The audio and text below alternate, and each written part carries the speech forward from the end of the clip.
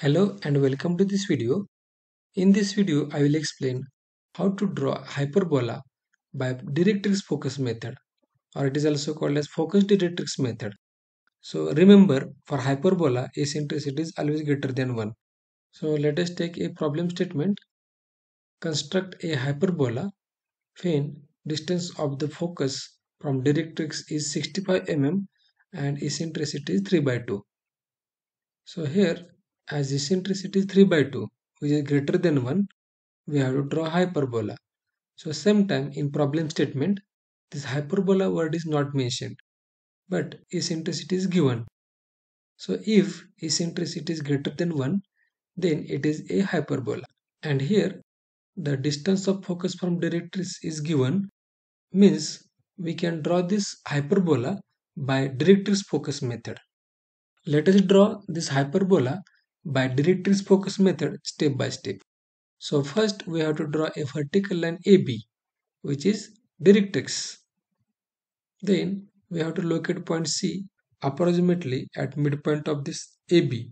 Then from this point C we have to draw a horizontal axis perpendicular to directrix AB. Then in problem statement it is given that focus from directrix is 65 mm. So we have to locate the focus F at 65 mm from C. So we can measure 65 mm and we can mark point F that is focus. Now we have to divide this CF into number of parts. And how to decide number of divisions? So it is based on eccentricity. So number of division is equal to numerator plus denominator of the eccentricity value. So here eccentricity is 3 by 2. So number of division is equal to 3 plus 2 that is 5. So we have to divide this CF into 5 equal parts. So here this CF is equal to 65 mm. So we can easily divide into 5 parts 13 mm each. So at 13 mm each we can divide CF into 5 parts like this. Then we have to locate the vertex on this axis. Now vertex it is the point on the curve. And what is eccentricity? Eccentricity it is the ratio of point on curve from the focus divided by distance of same point from the directrix. So here V it is the point on the curve.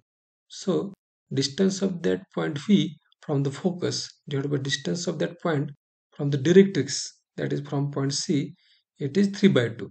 So here we have to locate vertex such that it will maintain the eccentricity 3 by 2. So here Vf upon Vc should be equal to 3 by 2.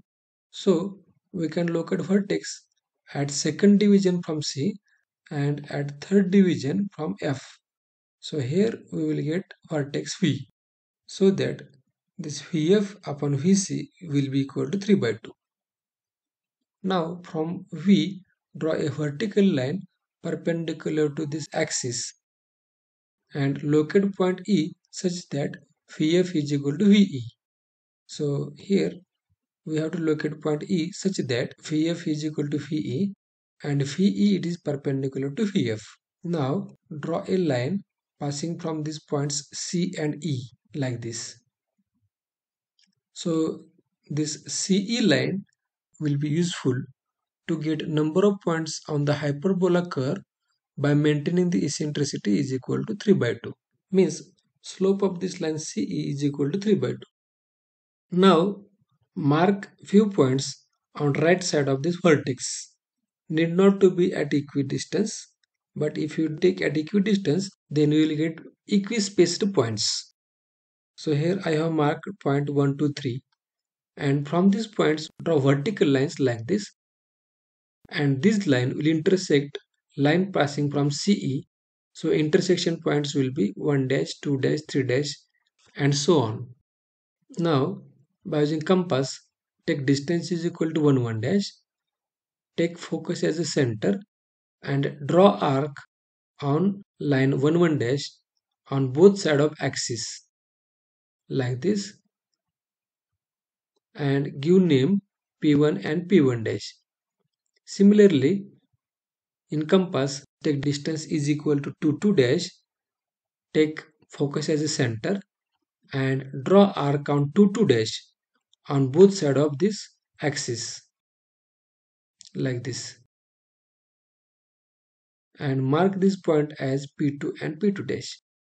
Then take distance is equal to 3 3 dash, take focus as a center and draw arcs on line 3 3 dash on both side of axis that is above and below the axis and mark the point P3 and P3 dash.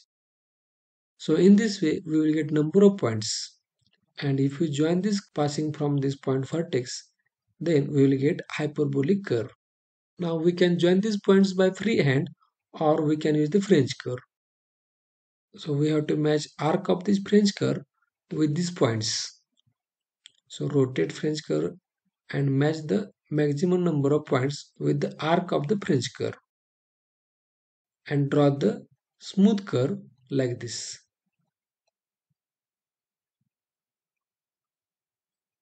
So in this way we can draw hyperbolic curve by directrix focus method. Now we can give the dimension.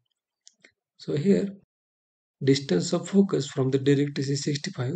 So we can give that dimension. So you can go to the description of this video. Here I have given link of other videos related to engineering curves and other topics from the engineering graphics subject. Thank you.